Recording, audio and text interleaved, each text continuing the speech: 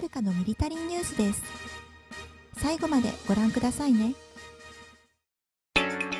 こんにちははるかです。今日は尖閣接続水域侵入中国国営テレビ中ロ海軍の連携アピール根拠は示さずをお届けしますね。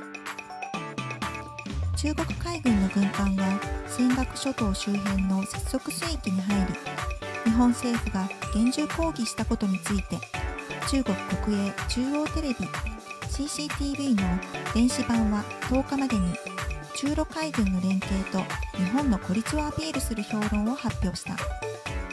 ただ両国軍艦が協力して接続水域に入ったとする根拠は一切示していない。評論は日本側が9日未明に事態を受けて官邸危機管理センターに情報連絡室を設置し米英華駐日中国大使を外務省に呼びつけ抗議したことについて焦りと敏感さが見受けられると分析。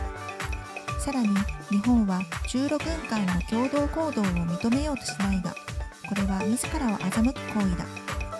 孤立局面に陥ったことを制止できなくなっていると主張した。本の孤立の原因として南シナ海問題への介入やクリミア併合をめぐる対ロ制裁などを挙げ対話を強調しながら二面性ある外交姿勢のために日本は両国との関係改善という絶好の機会を失ったと結論付けている。また CCTV は9日中国軍艦の接続水域入りについて立国境中国社会科学院中国辺境研究所副所長の解説を放映。李氏は日本は中国固有の領土である魚釣島周辺海域での海上保安庁や海上自衛隊による不法行為を棚に上げ中国側の正常な航行をとやかく言っている。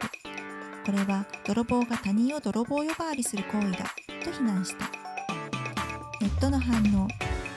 海軍艦艇が接続水域に入って調子に乗ってる分には抗議で十分だけど領海に侵入した時点で付近の潜水艦から超魚雷ぶち込んでやる。本当にぶち込んでくれればいいけどね。また自己紹介してるのかよ。中共軍部は鼻息が荒いようだけど党中央やロシアはスルーしているね。党中央やロシアはスルーしている。うまくいきそうなら手柄を横取り。雲行きが怪しい時は軍に責任を押し付ける魂胆かな。いやいやダメだろそんなこと言っちゃ。ロシアも困るだろ。どちらも卑怯者の代表格だからな。ロシアはツイート削除したみたいだけど前から公式とは思えないぐらいアレなツイートばかりだったからな。女性が綺麗なイメージをアピールして得してるけど中身は特定アジアと同じだよ。後付けでロシアの意を買っているのかも。以上はるかがお届けしました。他の動画も見てくださいね。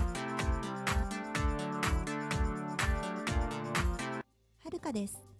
最後までご視聴いただきありがとうございました。あなたの応援が励みになりますのでチャンネル登録をお願いします。スマホの方は画面下のチャンネル登録ボタンから登録をお願いします。またグッドクリックやコメントもお願いします。それではまた次の動画でお会いしましょうね。